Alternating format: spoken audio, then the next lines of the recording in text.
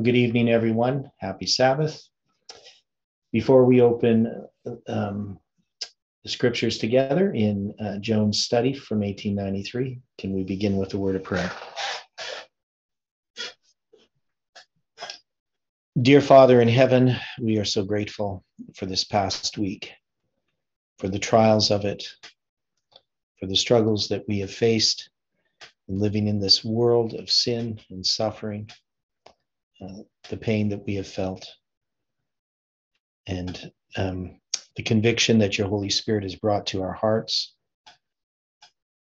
and the things that you have revealed to us in our studies, both as a group and personally. And we are thankful, Lord, that you still are merciful to each one of us. We ask, Lord, that as we look at these things, uh, this evening that your Holy Spirit can be here to instruct us, to correct us, and to bring about the work that you want to do in each one of our hearts as we seek to minister to others and especially to each other in this movement. Give us wisdom and understanding. We pray and ask in Jesus' name. Amen.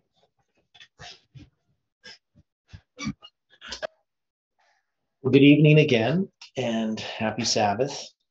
Now, uh, this study is number 11 of Jones, the third angel's message, given in 1893.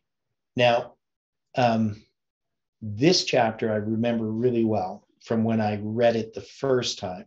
So I would have first read the 1893 General Conference Bulletin back in the late 80s.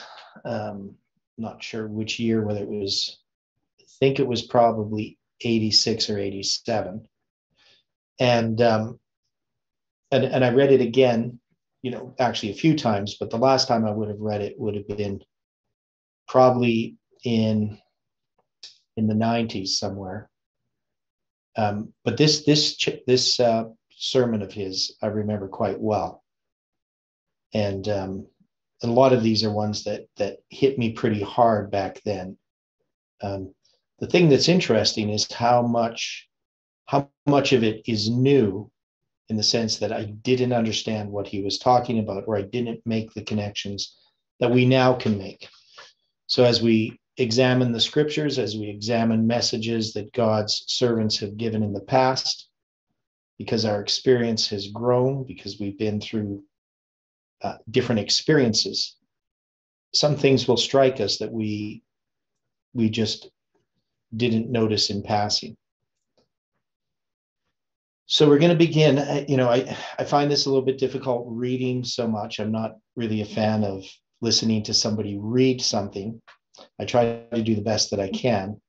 But if you do have a comment, if you have a question, um, feel free to stop me at any time. And um, for those who are watching this um, after it's recorded, it'd be very nice that people put notes or comments in the video itself. I don't get too many notes or comments in the videos. But if somebody has a question, especially, um, it's much nicer to have it in the comments in the video so that other people who might have the same question can have it answered. If if I can possibly answer it. you mean like on Facebook? Yeah, well, on, I, well, I, I prefer YouTube because then everybody who clicks on it will see it. If you do it on Facebook, it'll only be in that Facebook group. If you do it on YouTube, then anybody who goes to that video, no matter which Facebook page they go from, which group they go from, they will see the same comment. So thanks for right. The place where we were in the scriptures, you remember in this series of lessons, is that counsel of the true witness, the second thing that he tells us to buy. We studied the first the other night. I counsel thee to buy of me gold tried in the fire, that thou mayest be rich. That was our study, the last lesson. Our study tonight begins with the next thing. I counsel thee to buy of me white raiment, that thou mayest be clothed, and that the shame of thy nakedness do not appear.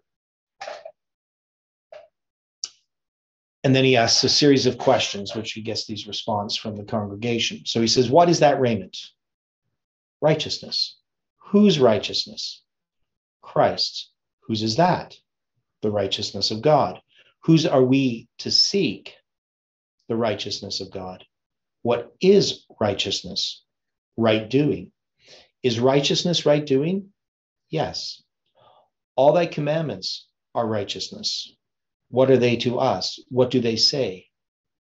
Do. Do they? The commandments require doing, do they? Congregation says, Yes, sir.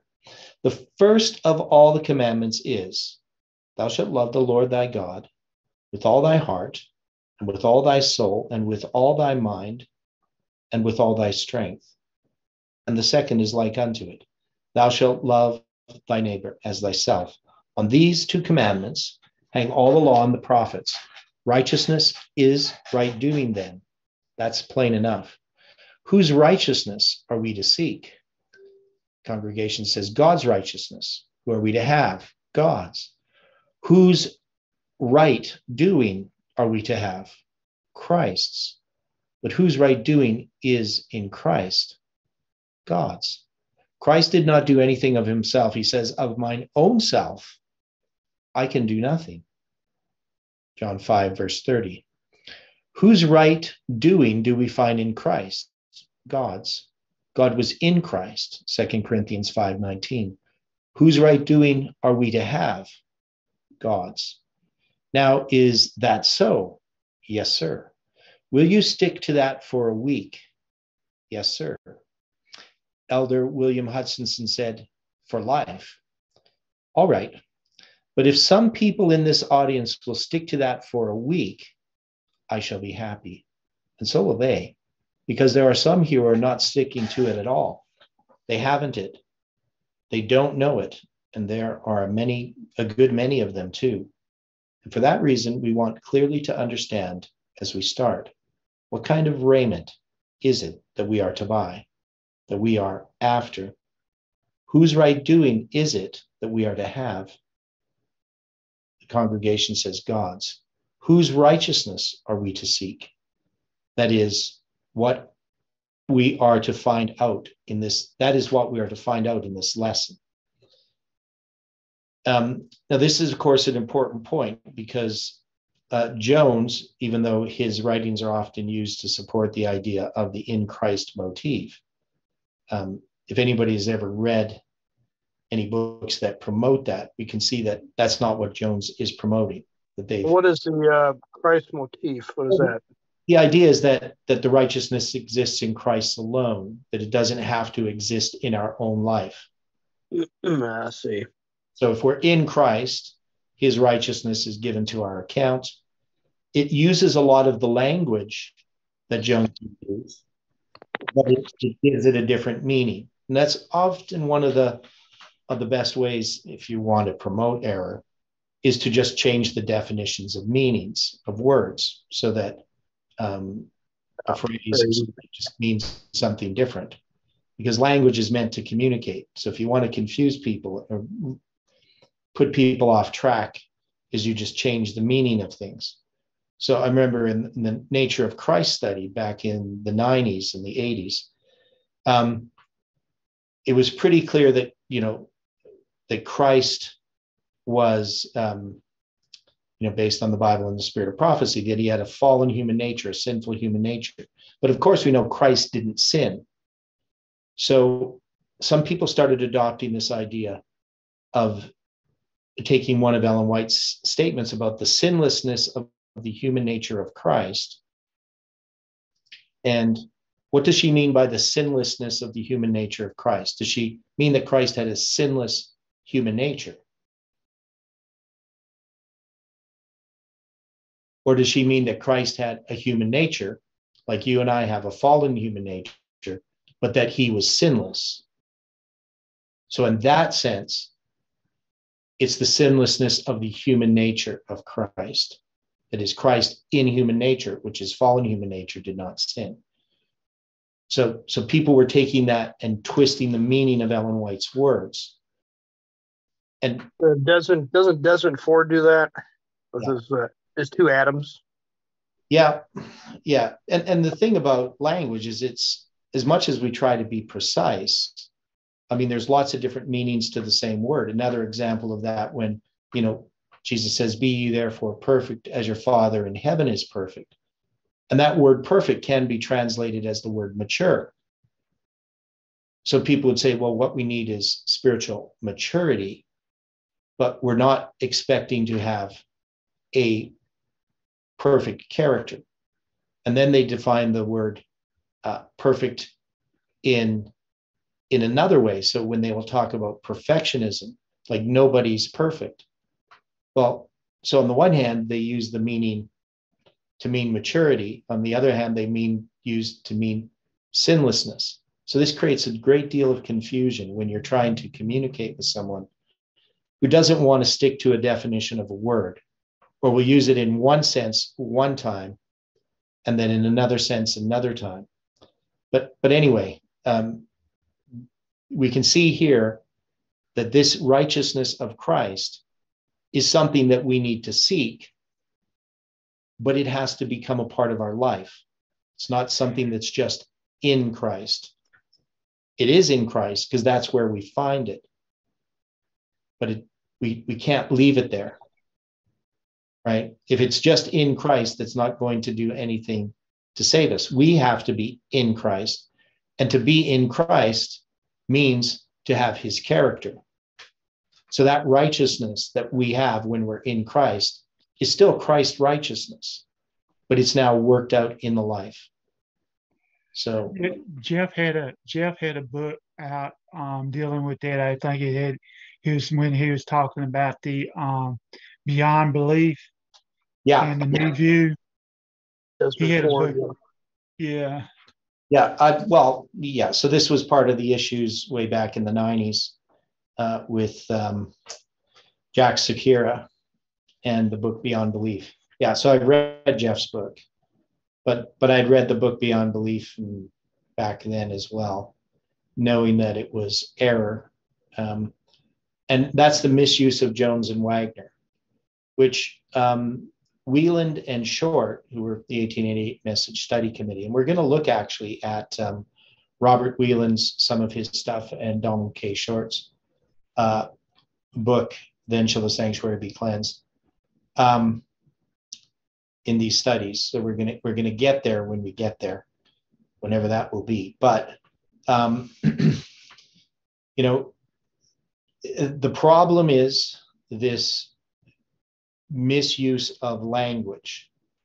And it's uh, the one thing you never want to do to win an argument is to uh, win an argument by being um, by not communicating clearly to get somebody to, to agree with you in word but not in reality and i mean you should never really seek to try to get somebody to agree with you anyway you should just speak plainly speak the truth and allow people to make their choices, to respond to truth. If you use deceit, um, you're not really winning them over. Uh, you're not promoting truth. But people often think that that's what they need to do. But anyway, it's sort of an aside um, from here. but we want to know what righteousness we are to seek. Now, calling attention again to a thought that we have studied before, with which to begin this study tonight directly, that is, what this righteousness is to us now, let us turn back to the passage in Joel, the second chapter and the 23rd verse. And notice also the marginal reading. Be, ye, be glad then, ye children of Zion, and rejoice in the Lord your God, for he hath given you the former rain moderately, and he will cause to come down for you the rain, the former rain, and the latter rain. Our study on that was in bulletin number seven, page 183. What is the margin? He hath given you the former rain. What is that? A teacher of righteousness. So that's what the word um, former rain in the marginal reading. So um, now the question is, how do we get that? How I mean, they look like quite different words. Um, former rain and teacher of righteousness.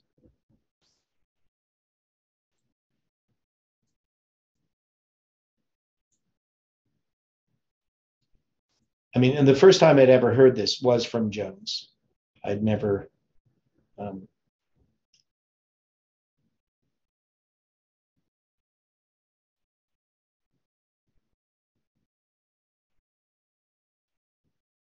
so the word that means uh, former rain is this word mora. It means an archer, also teacher or teaching.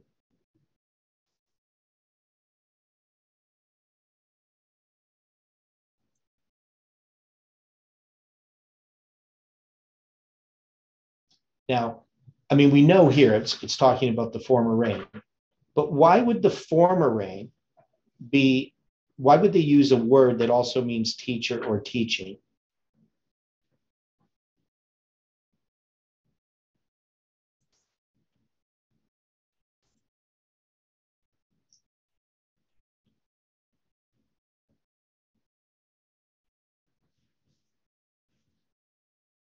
Don't we have to be, I mean, most of us have to be taught something before we can be expected to act upon it. Okay.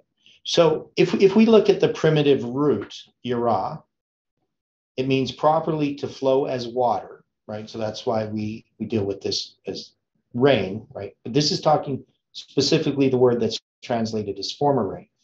Uh, transitively, it means to lay or throw especially an arrow that is to shoot, figuratively to point out, as if by aiming the finger, that is to teach.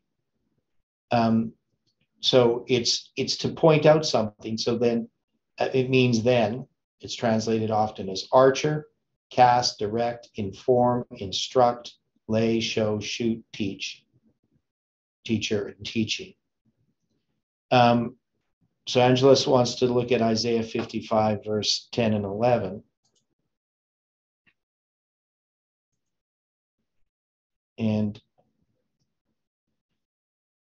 so, for as the rain cometh down, and the snow from heaven, and returneth not thither, but watereth the earth, and maketh it bring forth the bud, that it may give seed to the sower, and bread to the eater, so shall my word be that goeth forth out of my mouth. It shall not return unto me void, but it shall accomplish that which I please, and it shall prosper in the thing where, whereto I sent it. So, one of the things we can see here is the former rain is the rain that happens after you plant the seed. And if we think about um, this former rain and the latter rain, the former rain, uh, after the seed is planted, it's going to cause it to, to to germinate, right, to grow up. But in order for there to be a harvest, you need the latter rain. And so we can see here in this former and latter rain is this idea that in the former rain, we are instructed, but in the latter rain, we are teachers. Right? Does that make sense to people what I'm saying?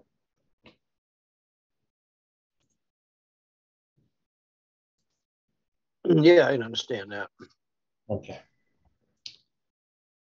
Okay, so um, we'll go on here.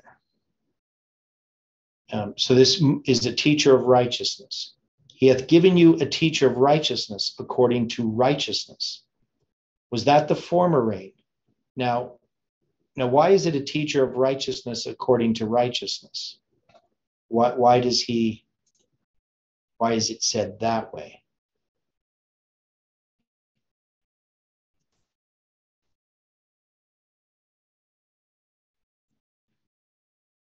So it says he's given you the former rain moderately. Um, and that could, word is, could it mean sorry, Theodore, could it mean somebody who not only preaches the word and knows the word in, in, in, in an intellectual fashion, but actually lives it? Okay. Yeah. So this teacher of righteousness has to be righteous. Now, it says the former rain, and the word it uses here is moderately in the King James. Uh, but the Hebrew word tzedakah means rightness, virtue, uh, rectitude, justice, Um, and that's objectively justice, morally virtue, or figuratively prosperity.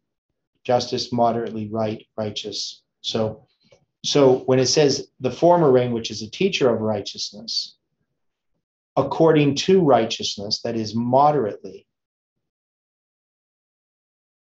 God sends forth this rain and he will cause to come down for you.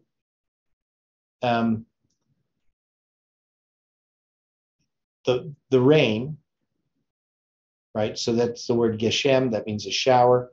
The former rain, morah, and the latter rain, malkosh, which means the spring rain.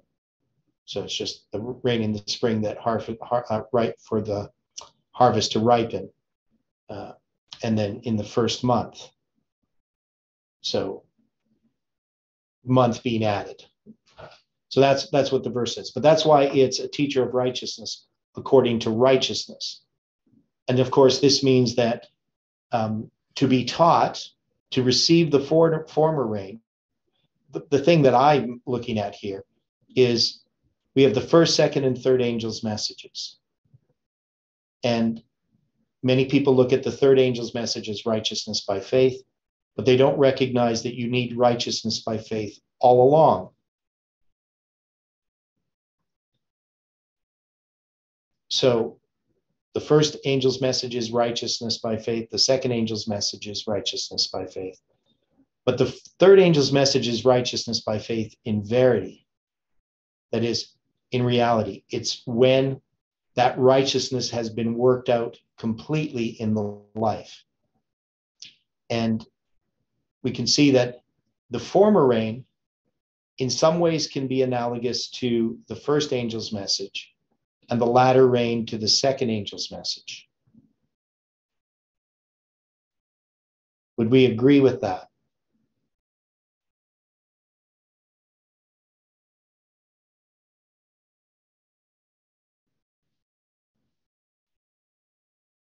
Yeah, I think so.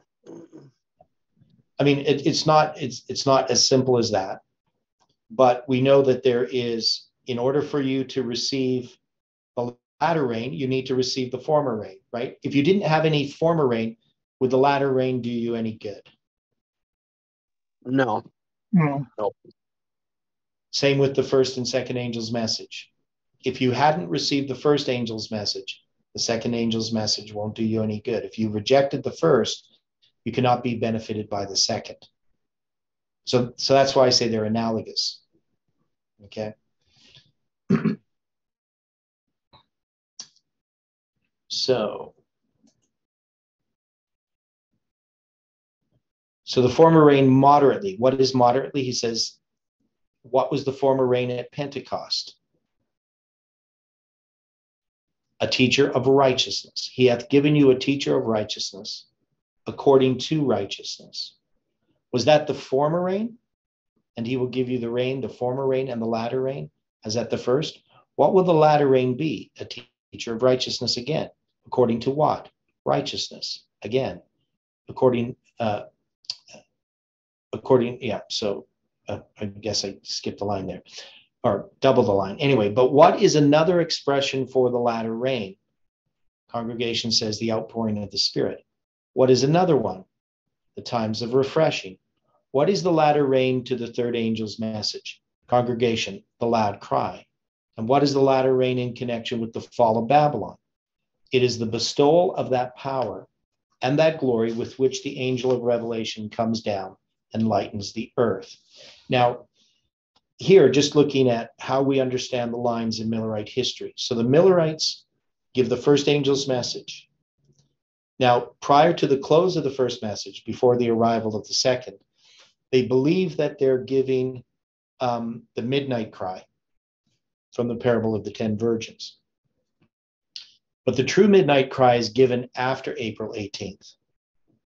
Even though Samuel Snow studies it prior, it's going to be given after April 18th. And of course, it's going to be formalized at Boston and empowered at Exeter. But we can see that it's connected with the midnight cry. And Ellen White compares the midnight cry to the loud cry. And that the loud cry comes after the arrival of the second angel. And in, in Millerite history, the second angel arrives April 19th. In our history, the second angel arrives at 9 11. So we know that Jeff marks 9 11 as the first sprinkling of the latter rain, correct? yes, I remember right. Yeah. Yeah. And and he's seeing what what that is is this understanding that's coming to the movement, to the way that um, the message is just growing and developing. But the third angel's message, because if if the former rain is the first angel's message and uh, the latter rain is the second angel's message. We know, of course, that the loud cry comes after the Sunday law, right? In our, our lines, the way that Jeff has lined this up is the midnight cry comes before the Sunday law. And we, we've dealt this with this before, how Jeff ended up coming to this conclusion. Um, but we what we didn't realize is that the midnight cry in our line is typical of the loud cry on the big line.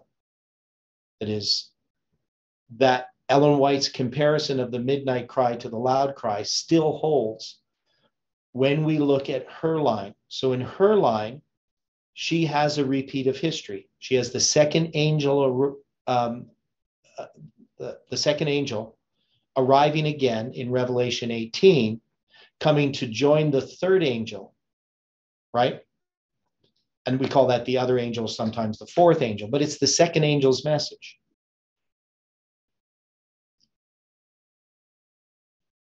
So if we're going to look at the third angel's message, what is its relationship then to the former rain and the latter rain? If the latter rain is the second angel's message and the former rain is the first angel's message, what is the third angel's message?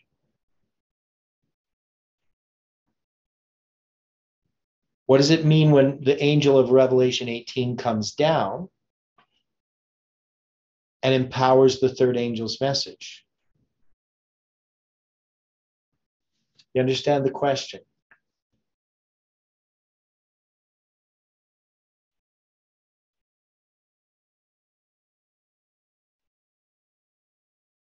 Can you? Okay, what was that? Didn't catch what you said. Could you repeat it, please? The question? Okay, so we said that the first angel's message is the former rain, that it, it, it parallels that. And the second angel's message is the latter rain, because it comes after the first angel's message in Millerite history, right? if, if we're going to compare those two. But then we know that we're in the time of the third angel. Now, when the third angel comes, it arrives October 22nd, 1844. Now, we're in the time of the third angel, but the second angel comes again and joins the third angel. So the question is if the first angel's message is the former rain and the second angel's message is the latter rain, what is the third angel's message?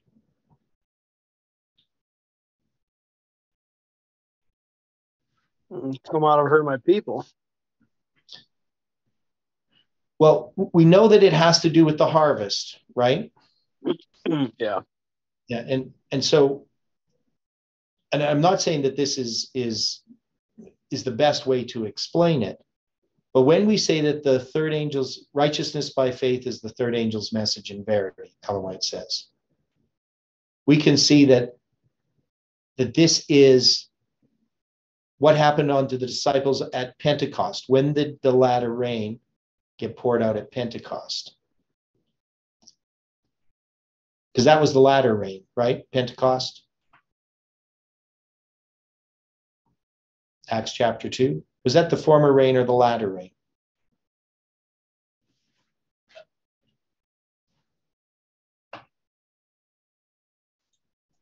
In whose line?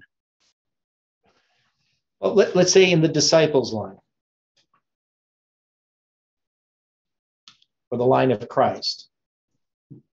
Wouldn't that be the former rain then? Okay. In the line of Christ itself?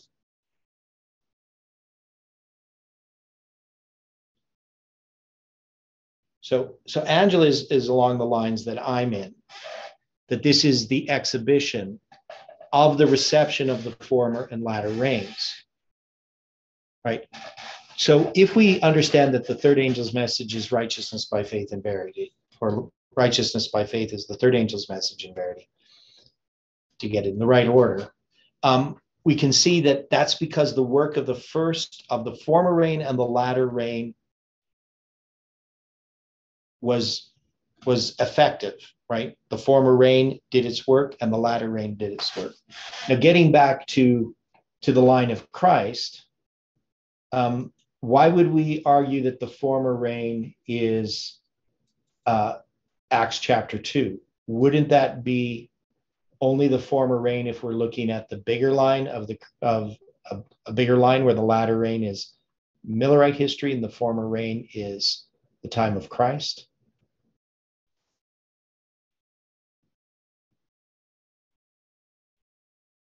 Now we know that the times of refreshing. So what's the times of refreshing?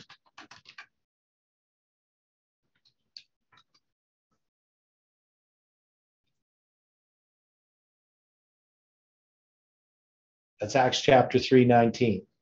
Repent ye therefore and be converted that your sins may be blotted out when the times of refreshing shall come from the presence of the Lord. So if we're going to put the times of the refreshing, I mean, that's not going to be Acts chapter 2, right?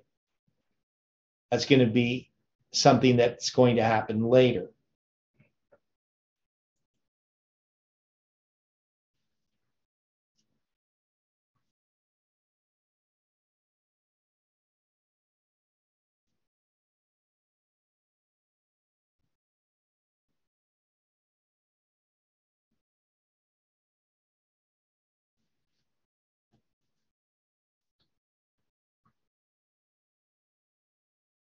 Are they going to have a harvest with um, the Holy Spirit being poured out on Acts chapter 2?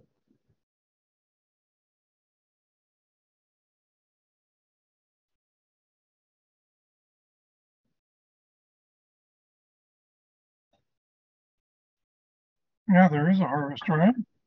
So, so we can take this um, and and we can apply this to the idea that this is the latter rain in that history. But right away, Peter understands that there is another latter rain, that the latter rain comes again. So if we look at Millerite history, the second angel's message is the latter rain. And so is the angel of Revelation 18, the latter rain. Because don't we have the first sprinklings of the latter rain come at 9 11? Wouldn't that be the latter rain? So if the former rain comes and the latter rain comes prior to the arrival of the third angel, but the latter rain comes again in connection with the empowerment of the third angel, then what Angela is saying makes sense. Can we see that? It's the exhibition of the reception of the former and latter rains. That it always follows the harvest, always follows the latter rain. Do we have a harvest after October 22nd, 1844? When the third angel arrives?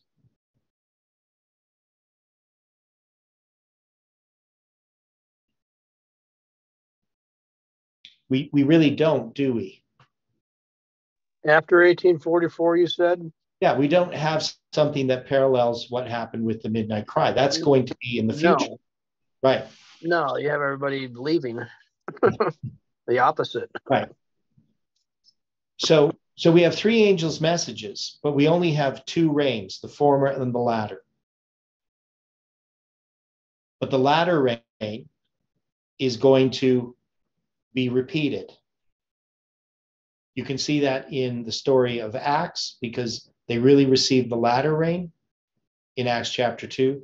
But then in Acts chapter 3, uh, Peter's going to direct us to the times of refreshing. Right? And those times of the refreshing are the latter rain that are going to come in the future. So Peter understands this that what happened, in a sense, in Acts chapter 2 is typical of something that's going to happen in the future. So he, in a sense, understands that there are different lines. Does that make sense to people?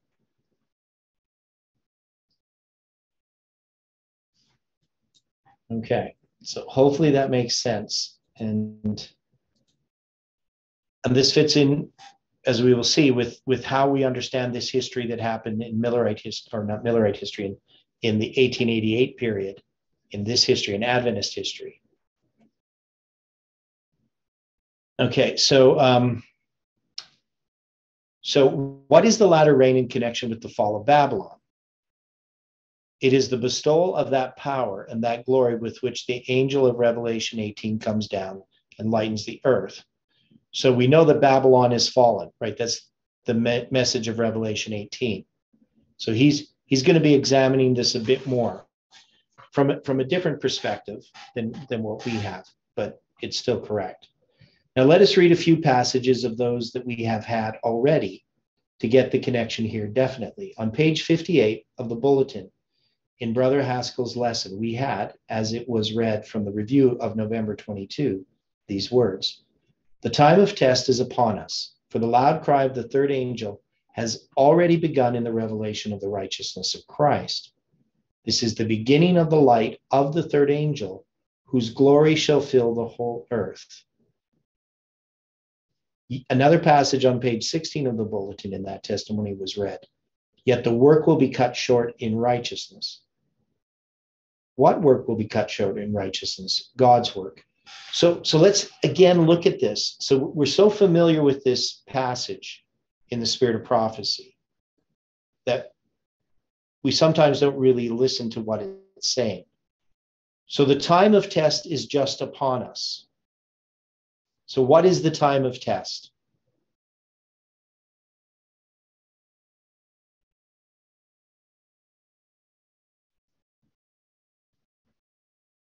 Is he not referring to the Sunday law? Yeah. So this is what Jones is saying all the time. The time of test is just upon us.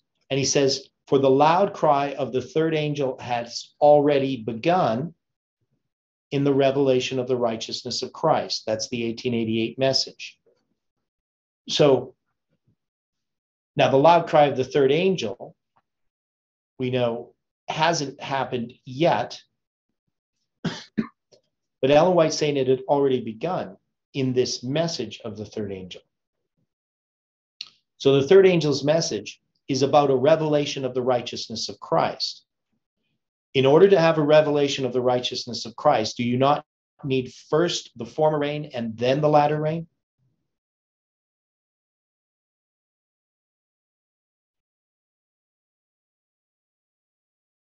Yeah, I think so. Yeah. Former rain. Yeah. So Ellen White says, This is the beginning of the light of the third angel, whose glory shall fill the whole earth. Right? So that work of the Holy Spirit in the former rain and the latter rain will be manifest in the glory of Christ's character filling the whole earth. So the third angel's message is the fulfillment or the result of the first and second angel's messages it's the result of the former and the latter rain. Now, it's going to be cut short in righteousness. So we know this is about righteousness.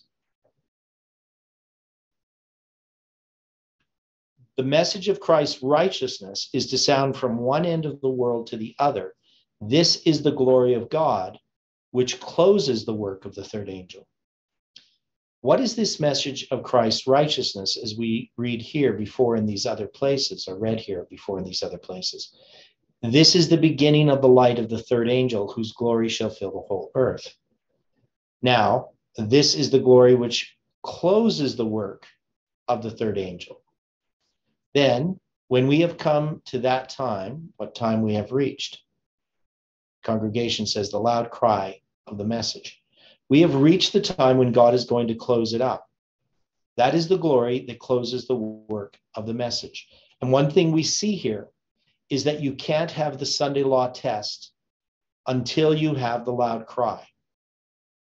Right? You can't put the cart before the horse. If we're saying that the Sunday law is coming immediately, but we haven't give them, given the loud cry, we're giving a false message. Because we're not in, in shape as a people. We haven't produced the righteousness of Christ. And so we can't expect the test to come. Lots of other things, you know, that have to happen as well. But just from the simple point of looking at our characters, we know that we're not prepared for a Sunday law. And we're not going to be prepared for a Sunday law by just saying that the Sunday law is coming. Because the Sunday law comes as a response to the character of Christ in his people. We have reached the time when God is going to close it up. That is the glory that closes the work of the message. Now, another thing, what is that first expression which we have just read? He will cut it short in righteousness. Then, when that message of God's righteousness, the righteousness of God, which is by faith of Jesus Christ, God's right doing, when that is received and is allowed to be carried on and is held by his people, what does that mean about the work of God on the earth? It will be but a short time until the whole thing is done. Then, when we reach the time of the latter rain, the loud cry, the angel coming down from heaven, having that great power, all these things coming together, as thus stated by the words of the Lord, we are simply brought to the same point where we were brought by the study of the things which are before us, and which led us to view what is coming upon us. That line of study that we had, studying the things that are before us to see what is soon to come upon us, led us face to face with six or seven different events that shut us up to this very thing, that now is the time that the work will be closed up shortly, and we are in the midst of the scenes that close up this world's history. Here are these different expressions in the testimony of the Spirit of God, when put together, that show that it is the same thing from that side. Well, the latter rain is the loud cry of the third angel's message. It is beginning, it is the beginning of that message of glory that lightens the earth. But the latter rain is the teaching of righteousness. When did that message of righteousness of God, as such, come to us as a people?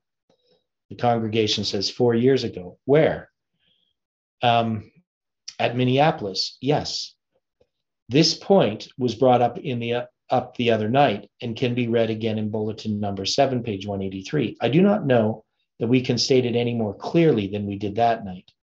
Now that message of the righteousness of Christ is the loud cry. It is the latter rain. We have been praying for the latter rain here at the conference already, haven't we? Have you? So here, now Jones had, had really plainly shown that the message is closed up in righteousness. But we can see that the loud cry is the second angel's message, right? Because it's the second angel's message that joins the third angel's message. So if he's saying that the righteousness of Christ is the loud cry, I mean, this is the loud cry of the third angel, but it's also the loud cry of the second angel, correct? Agreed.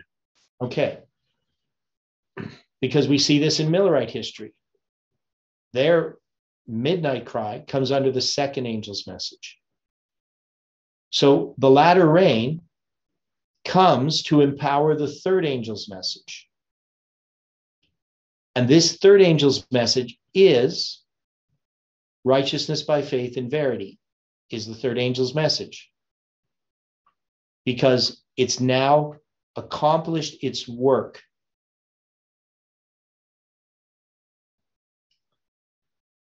So we've been praying for the latter rain here at the conference already, haven't we? Have you? Congregation says, yes, sir. What were you looking for when your prayer was answered? Are you ready now to receive the latter rain? We've been praying here for the latter rain. Now, there is the connection. The testimonies tell us what it is, and Joel tells us what it is. I simply ask you, are you ready to receive the latter rain? That is, are you ready to receive God's message of righteousness according to righteousness? Let us look at that a little further. Joel says, according to the margin, that it is a teacher of righteousness, which brings the teaching of righteousness according to righteousness. Whose idea of righteousness? Congregation, God's. No, mine. Congregation, no. Yes, mine will do. Congregation says no. Why? If I receive the righteousness of Christ according to my idea, is that is not that enough? Is not that receiving the latter rain? Is not that receiving the righteousness of Christ? The congregation says, No, sir, it is your own righteousness. But that is what is the matter with a good many people who have heard this message of the righteousness of Christ. They have received the message of righteousness of Christ according to their own idea of what his righteousness is, and they have not the righteousness of Christ at all. Now, let us ask again how are we to that to receive that? How is it how is that to be given according to righteousness? How then is it to be received according to righteousness? It is given according to righteousness and we must receive it according to righteousness. We must receive it as it is given. But let us further dwell further upon that thought and i am in no hurry to get away from it either when we receive the teaching that teaching of righteousness according to righteousness, which is not according to our ideas of righteousness, God's ideas. We must receive it according to God's idea of righteousness and not according to our own measure of it, right? He who thinks of receiving that message of Christ's righteousness according to his own idea of it will miss it entirely. We are to receive it according to God's idea of it and nothing else than God's idea of righteousness. Nothing, nothing else than that is righteousness. Now, I mean, Jones is going to go into this a little bit more, but why do we have our own ideas of righteousness?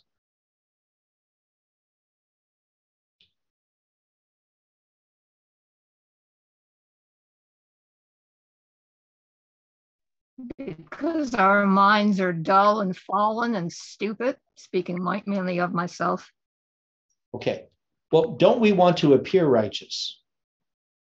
I mean, not just to other people, but to ourselves.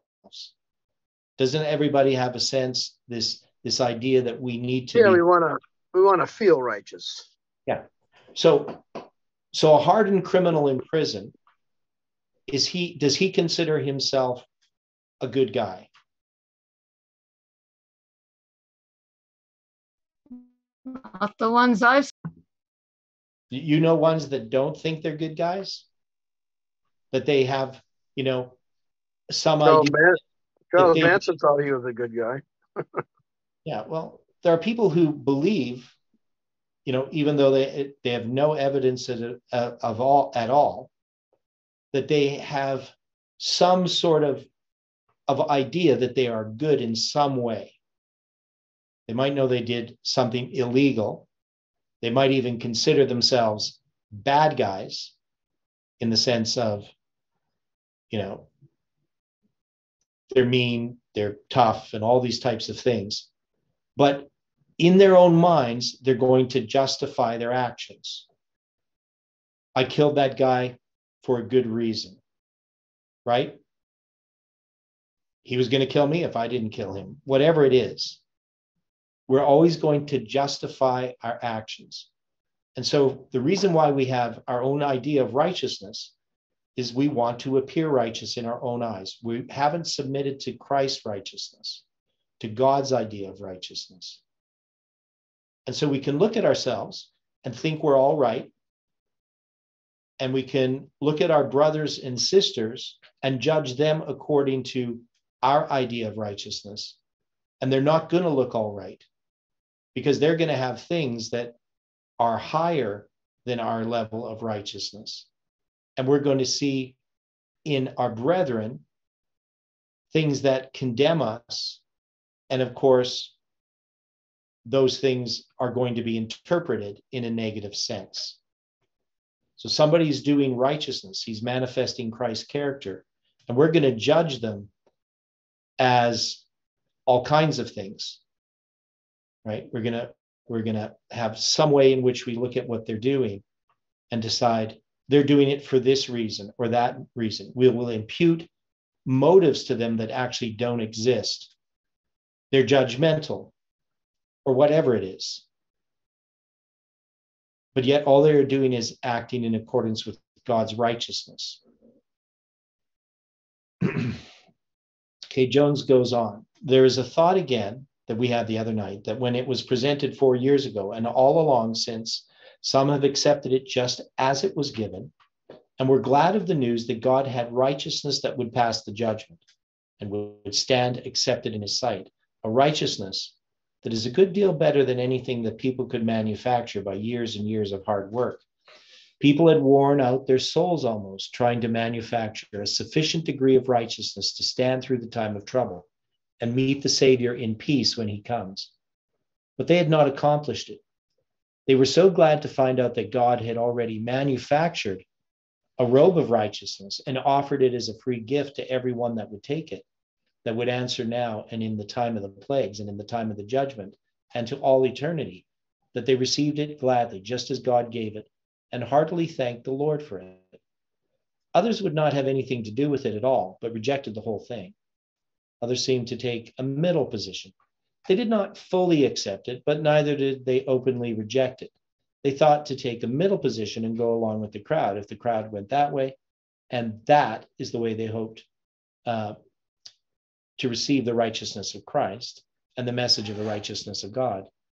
Others deliberately discounted the message, about 50%, and counted that the righteousness of God. And so, all the way between open and free, deliberate surrender and acceptance of it to open, deliberate, and positive rejection of it, all the way between, the compromisers have been scattered ever since and those who have taken the compromising position are no better prepared tonight to discern what is the message of the righteousness of Christ than they were four years ago. Some of these brethren, since the Minneapolis meeting, have heard myself say amen to preach. I have heard say myself say amen to preaching to statements that were utterly heathen and did not know that did not know but that it was the righteousness of Christ. So let's read that sentence again. I didn't. Some of these brethren, since the Minneapolis meeting, I have heard myself say amen to preaching, to statements that were utter, utterly heathen and did not know, but that it was the righteousness of Christ. So they're going to take heathen statements and believe that it was the righteousness of Christ. That's how I'm taking it, that statement. Some of those who stood so openly against it at that time, right? So um, I'm not sure if I'm getting this right still. I've heard myself say amen to preaching. Statements that were utterly heathen and did not know, but that it was the righteousness of Christ. Okay, anyway, I, I don't quite understand that sentence. But anyway, some of those who stood so openly against that at that time and voted with uplifted hands, with uplifted hand against it. And since that time, I've heard say amen to statements that were openly and decidedly papal, as the papal church itself can state them. That I shall bring in here in one of these state, these lessons and call your attention to the Catholic Church's statement and her doctrine of justification by faith. I shall bring that in at some future lesson what, what, let you see what the doctrine of the Catholic Church is as to justification by faith. I says one, I didn't know that the Catholic Church believes in justification by faith. Oh, yes, she does. Yes, indeed, she does. You can read it out of her books. Says one, I thought they believed in justification by works. They do, and they do not believe in anything else. but they pass it off under the head of justification by faith. And they're not the only people in the world that are doing it. I mean, the members of the Catholic Church. They're not the only ones that are doing it.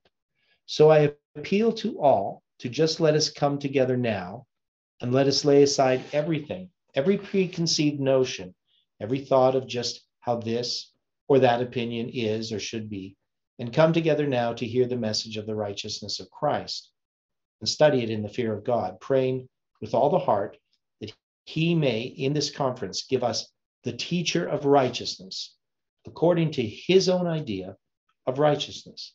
That is what we want. And brethren, as certainly as we pray for him to do that, that is what he will do. And then when he sends us by his Spirit the teaching of the message of his righteousness, let us take it exactly as he gives it and do not discount it a particle. No difference if it takes away all that we ever thought was the right idea in that connection. We have nothing to do with that. We agreed at the beginning of this institute, when we came here to study, to stand upon this platform that if any one of us thought we knew anything, we knew nothing as we ought to know it. That is applicable to this subject, to those who have received it, just as certainly, though not in the same degree perhaps, as those who have not received it. But because those who have received it, it cannot boast cannot boast now and stand up and say, I am all right now. I do not need to learn anything new or anything now. If anyone gets into that position, he is the one who needs most to learn of anyone. So, what you and I want to do is lay aside every thought of this kind, every deduction that we have made upon it, every discount we have put upon it, every shape we have given to it. Drop all these and let us come as Christ said, as little children, asking, What is the kingdom of God? For the kingdom of God is righteousness and peace and joy in the Holy Ghost. These that will not receive the kingdom of God as little children, Jesus himself says, cannot enter into it. And if we come with what we have already learned and try to frame it upon that, it will not fit upon that. If we come and try to mold everything else that we um, everything else that he will give us now upon our conception of what we have we will spoil the whole thing and just shut ourselves out from it all therefore that text abides with us still if any man thinketh he knoweth anything he knoweth nothing yet as he ought to know that belongs to us now, taking that thought a little further, the latter rain, this message, is the righteousness of God, which is by faith of Jesus Christ. That is the loud cry. But that message is the teaching of righteousness, according to righteousness. And that means God, God's idea of righteousness and not our own. Is my idea of God's righteousness, my idea at its broadest stretch, is that God's idea of righteousness? Congregation says no. Then when I get the broadest idea I can possibly I possibly can of God's righteousness and am satisfied with that and say that that is to save me, then whose righteousness is it that is to save me? Congregation, your own. Of course it is. So so think about this. So even if I, it is my idea of God's righteousness, right? So we have to look at this in its broadest stretch. Is that the God's idea of righteousness? And we have to say no. So if we have an idea of righteousness in the in the broadest stretch, it's not God's idea of righteousness. Because can we comprehend God's righteousness?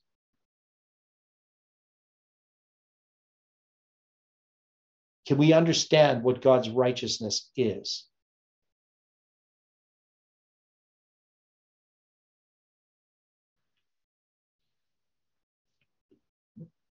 I would have to say no. God's ideal for his children is higher than the highest human thought can reach. Right? Yes. And that ideal is the righteousness of God. It's not some lower form of righteousness that God has as an ideal for us, right? God doesn't just have an ideal of what he's to be and then this ideal of what humanity is to be. Would we agree with that? That that ideal that God has for his children that's higher than the highest human thought can reach must be the righteousness of God.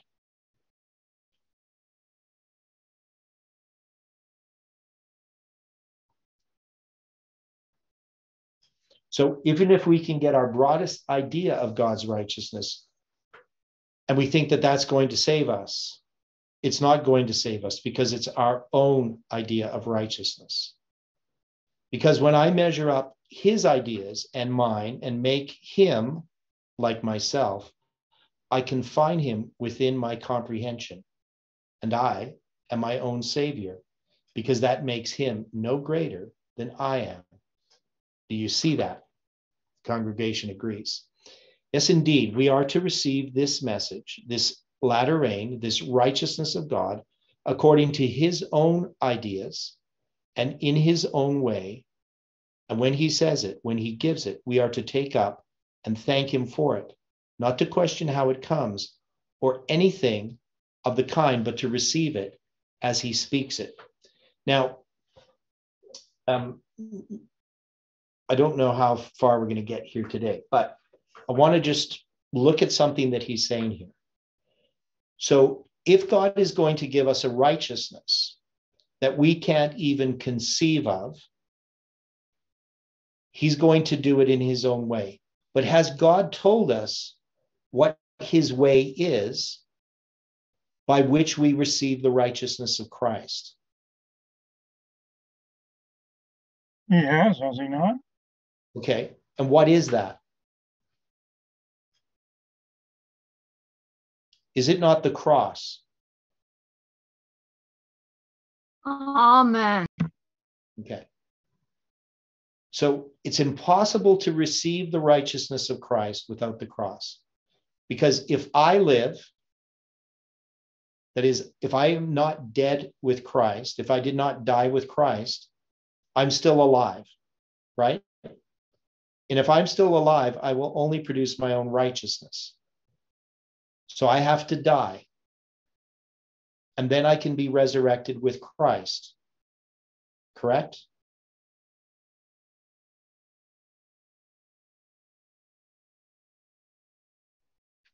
Now, Correct. Now, what about our lines? What about this movement? What about the history that we have been passing through as a movement? is this movement, is this three step testing prophetic message?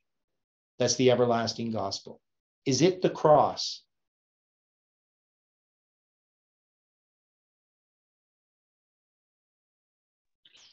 I don't think so.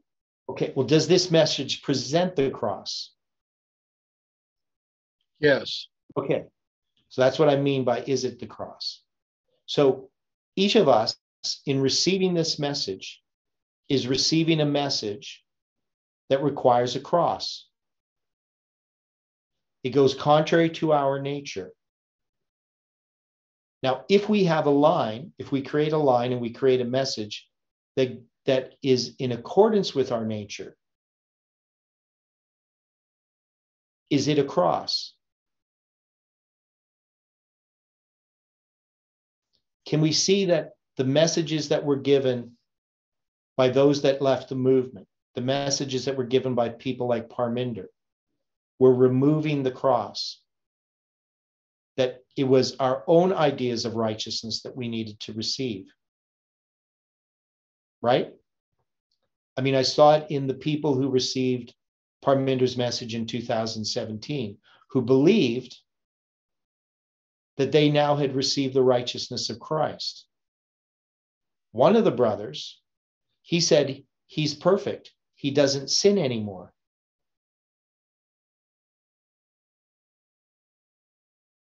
Had he received the righteousness of Christ? Absolutely not. No.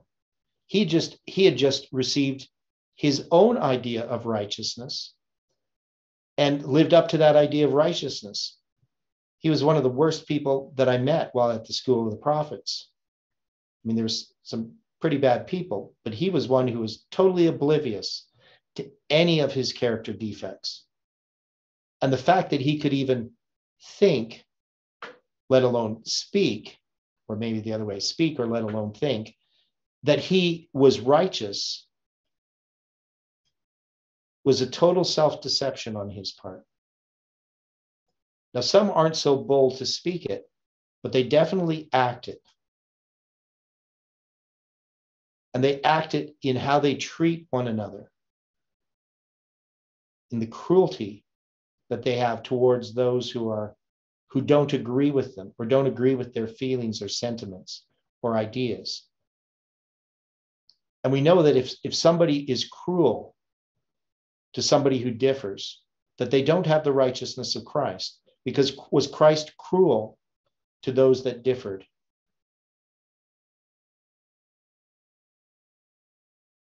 Didn't he die for them? Didn't he give up his life? Didn't he present the gospel? Didn't he labor? Yes. Okay. And so if a person doesn't do those things, no matter how much he professes to believe in righteousness, he's not righteous. He might be righteous in his own eyes, and he can judge other people according to his ideas of righteousness. But he's not converted. Unless he's converted, he cannot be saved.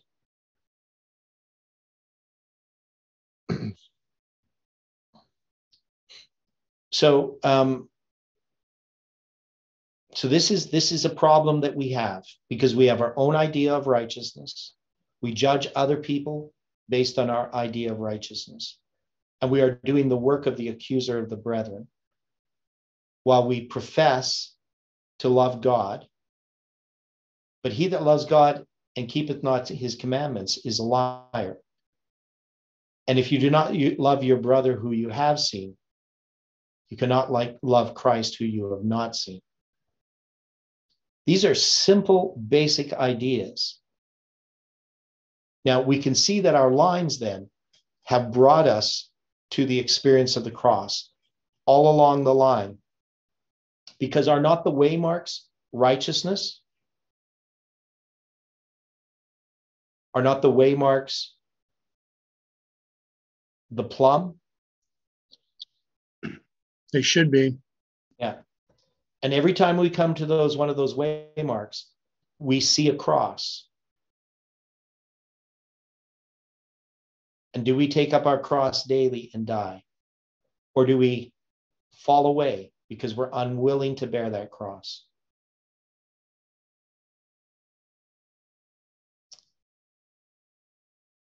But to receive it, the righteousness of Christ, as he speaks it, as he gives it, and let him do just as he pleases in carrying forward the work uh, forward to the world.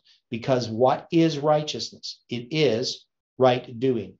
Whose righteousness is it that we are to have? God's. Then it is God's right doing that we are to have, not our own idea of right doing, right? Because our own right doing is just our own idea of right doing. It is his idea of his right doing and not our own idea of right doing. It is not our idea of his right doing. It is his own idea of his own right doing. It is, in fact, his own right doing when he does things. Therefore, that calls upon you and me to yield up everything of ourselves and let him do the doing as he pleases with this which is his own. He is to do the doing. We are to be instruments. Yield yourselves as instruments of righteousness, your members as instruments of righteousness. Yield them to whom? To God. He uses the instruments. Romans 6:13. Will he let him? Will you let him? The congregation says, Yes, sir. Will you stick to that for a week? The congregation says, Yes, sir. Now, another thought that leads us thus we know it is God's idea only that is the true idea of righteousness of God, of this righteousness of God, then can I grasp his idea of righteousness with my own mind? So we already discussed this. Congregation says, No, sir. Can I have a mind that will grasp it and that can grasp it? Yes. Is there any mind in the universe that can grasp God's idea of righteousness? Yes. Whose? Christ's. Then does not that shut you and me up to the fact that without the mind of Jesus Christ, we have not and cannot have the righteousness of God? I care not how much of a theory a man may have of the righteousness of God. I care not how much he may say he believes in the righteousness of God. I care not how much he may say he believes in justification by faith. If he has not the mind of Christ itself, he does not understand God's idea of justification by faith, and he cannot tell it. No man can grasp the idea of the righteousness of God without the mind of Christ, which alone of all minds in the universe can grasp grasp it or comprehend it or know it.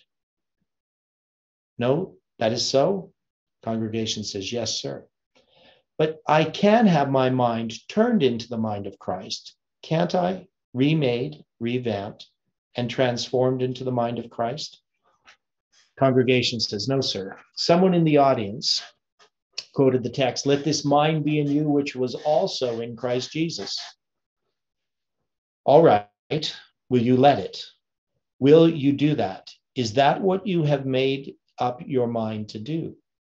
Congregation says, Yes, sir. That is the thing to start with, then, is it not? Let us get that clear. And I think that by that time, the hour for this the study this evening will be expired.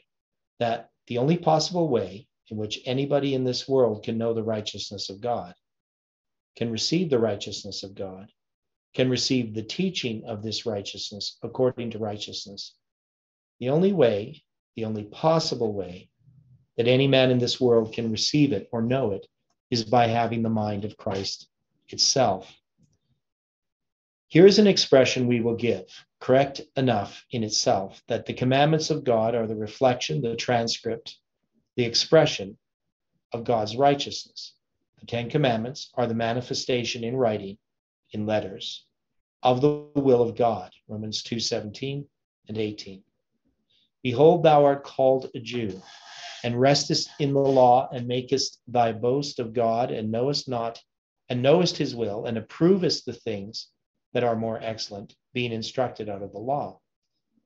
Then the law being an expression of God's will that expresses what is God's will that shall be done in the way of right doing? Will the Ten Commandments accept any doing from anybody that comes short of God's idea of what is right doing? No. Then the Ten Commandments simply require such a measure of right doing as God own, owns God's own mind measures, as his will expresses. Well, then, when the Ten Commandments require just that, and will accept nothing short of that. How in the world are the requirements of the Ten Commandments to be met in any man's life in this world who has not the mind of God? It cannot be done. Where do we get that mind? Congregation, in Christ. Then is it possible for any man, by any possible means, to render to the Ten Commandments what they require and what only they will accept without having the mind of Christ itself? The congregation says, No, sir. Well, can I have the mind of Christ without the rest of him? No, I cannot.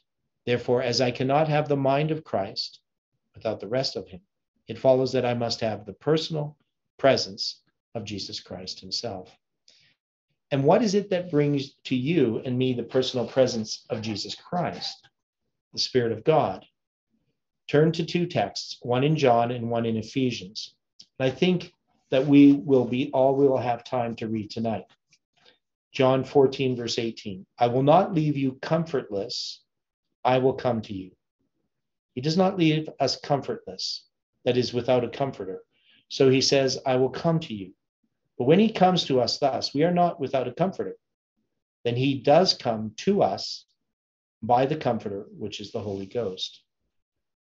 Now turn to Ephesians 3 16 and 17. Let us read carefully together. This is the prayer that he would grant you according to the riches of his glory to be strengthened with might by his Spirit in the inner man, that Christ may dwell in your hearts. Someone quoted the words of the text by faith. Of course, faith belongs there, but there is a double attachment to the middle statement.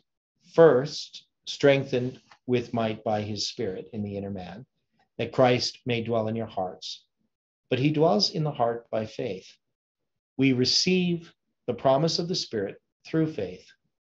But what brings it? The Spirit of God. And when we have that, Christ dwells in the heart. Then it is the Holy Spirit that brings the personal presence of Jesus Christ. And in bringing his personal presence to us, he brings himself. Then it is the mind of Christ by which we may comprehend, investigate, and revel in the deep things of God, which he reaches down and brings forth to our understanding and sets them before us in their plainness. That is what we ha- must have in order to have the presence of Christ, in order to have the righteousness of Christ, in order that we may have the latter rain, in order that we may give the loud cry. So we can see here that um, Jones has it right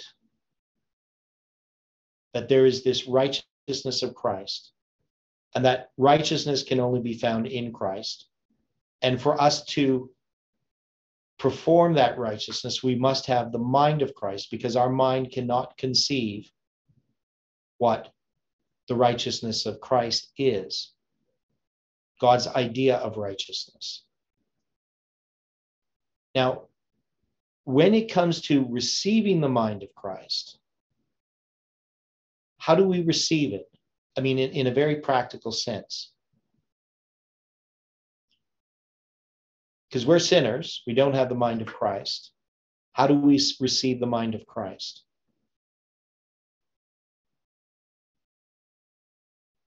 We seek it. We, we do what? We seek it through his spirit. Okay, we seek it. Okay. So so we know that there is that God wants to give us his mind. He wants to give us his righteousness. Christ wants us to be righteous. He can't save us without making us righteous because that's actually what he does. He saves his people from their sins, not just from the act the, the consequence of sin, but from sin itself. Right? He restores man into the image of, of God with which man was originally created. We're made in God's image. So we need to be restored into that image. But it's a very difficult thing for us to understand because when we look at how we want to become righteous, we, we tend to put our own ideas of righteousness in the way. And, and I know Jones has a difficult time trying to get this idea across but I mean, in a very simple sense, we experience a cross every day, do we not?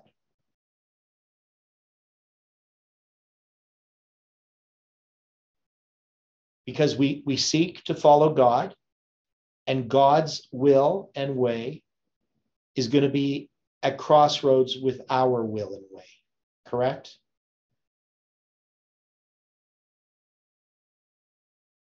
Yes. Okay. And so we have to take up our cross in the very little things that happen to us each day.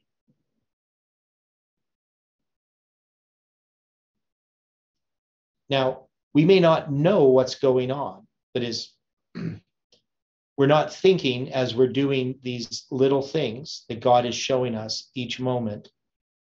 I'm I understand the righteousness of God and, and I'm righteous because I did these little things. But don't those little things each day, when the Holy Spirit speaks to us and tells us what the right thing is, and we do it, even though we don't understand it, is this not taking up your cross daily? Are we yoking up with Christ? Are we learning in the school of Christ? And if we take up Christ, the cross daily, will we not be able to be strengthened?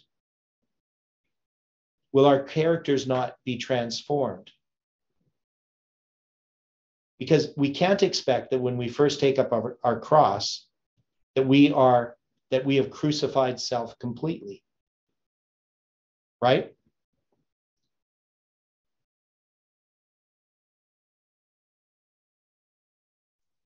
Agreed. And we know that we have to die daily. We have to bear about in the body the dying of the Lord Jesus. Because we don't have righteousness in and of ourselves. That righteousness only comes from the cross of Christ. And in order to have to take up the cross of Christ, we have to respond to what light God gives us. And that can be often very little things. We always want to have these big things, right? We want to see ourselves being victorious. We put before us some test.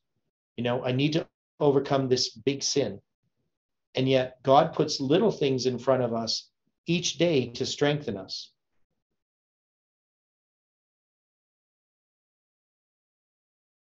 You know, I don't think there's an Olympic athlete who just one day decided he's going to be in, in the Olympics and just lifted the record amount of weight. We would need to train, would we not?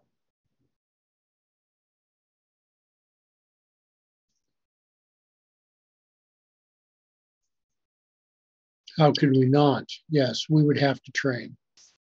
And, and when we yoke up with Christ, when we come to Christ, when light comes into the darkness and reaches our hearts and we see that we're a sinner, God doesn't show us everything that has to change.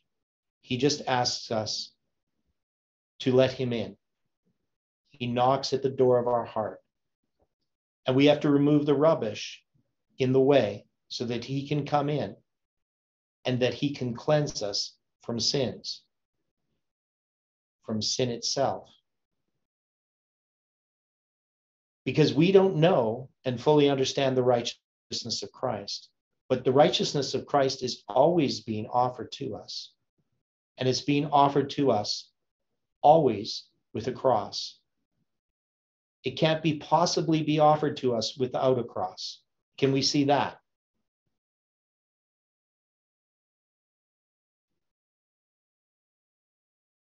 Yeah, because our nature is at enmity with him. Right.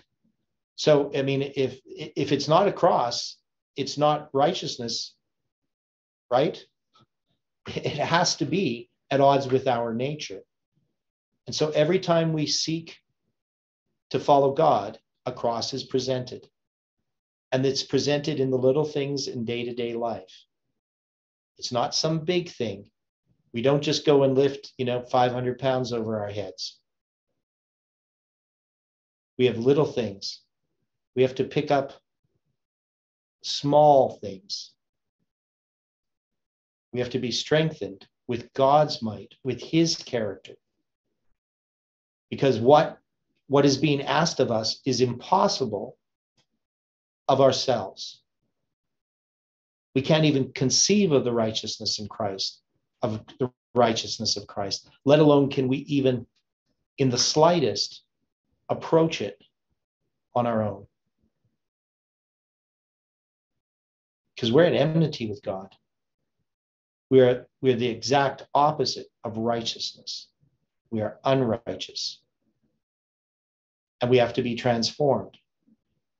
So this, this is a difficult thing because we always seem to believe that we are righteous, even if we're not.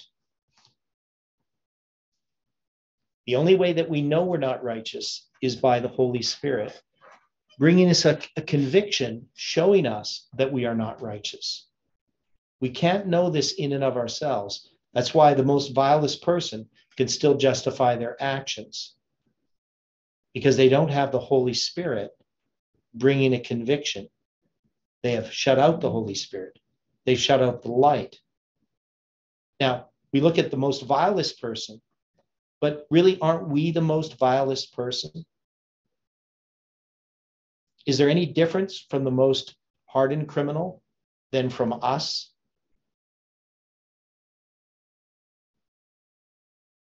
There isn't levels of righteousness.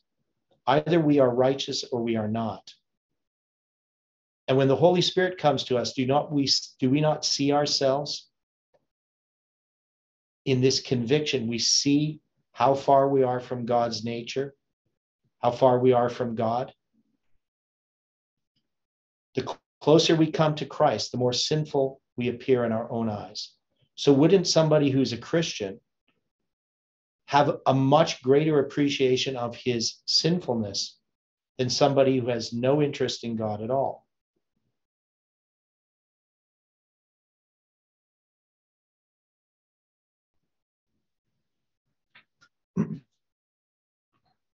Agreed. So if we're going to give the loud cry, if we're talking about us, sinful, vile human beings, being entrusted with a message, the everlasting gospel, we can only do this if we have the mind of Christ. There's no way that we can give the gospel, the everlasting gospel, without the mind of Christ. It doesn't matter how intellectual we are, how much we understand about the message. We can understand the lines, we can understand chronology, we can see things. But if we don't have the character of Christ, if we don't have the mind of Christ, we're none of His. We're not in Christ.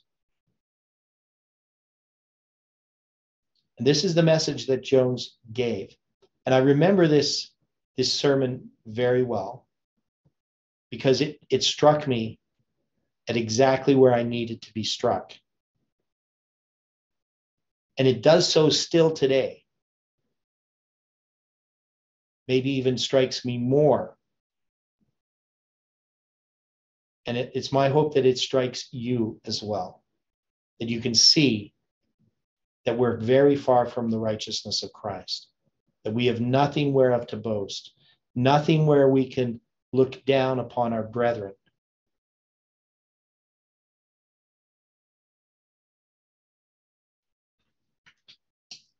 Let's close with prayer. Dear Father in heaven, we are so grateful for this message from the past. When the mighty angel of Revelation 18 came down, but was rejected, we ask, Lord, that in our time, that we cannot reject this message. We need you. We ask for forgiveness for our sins. We ask that you can forgive us for our self righteousness, for our critical and judging attitude of others. And we pray, Lord, that this message that you have been giving us to heal us, that we can receive it so that we can give it to others and that they can see it worked out in our lives, that they can see you instead of us. Help us to trust that you can do these things in us. Be with each person on this Sabbath. We ask for your special blessing. We pray for the meeting uh, tomorrow morning and the one in the afternoon as we continue this study. We know, Lord, that um, you are speaking to our hearts. Give us an ear to hear. Help us to accept this message to the Laodicean that we are. We pray and we thank you and we ask these things in Jesus' name. Amen.